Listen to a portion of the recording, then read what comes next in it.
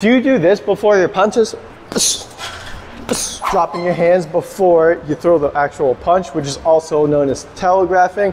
Keep in mind you want to make sure that the punch is coming from the chin, nice and straight. Boom, pop, pop. Take it slow and steady. Develop this habit. It'll make you a little bit faster